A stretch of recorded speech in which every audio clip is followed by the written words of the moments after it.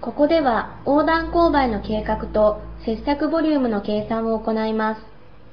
車線ごとに勾配が違う場合など、現状に合わせた横断勾配を設計します。横断計画を選択し、入力ボタンを謳歌してください。切削環境設定の画面が発生します。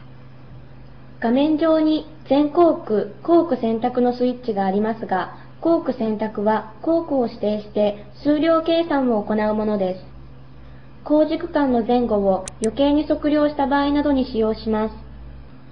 オーバーレイ工法か、切削オーバーレイ工法の選択をします。切削オーバーレイ工法の場合、オーバーレイ厚を入力します。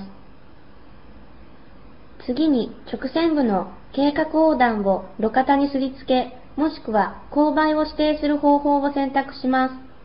勾配を指定する場合は、左右の設計横断勾配を入力します。設定が終了したら OK ボタンを謳歌してください。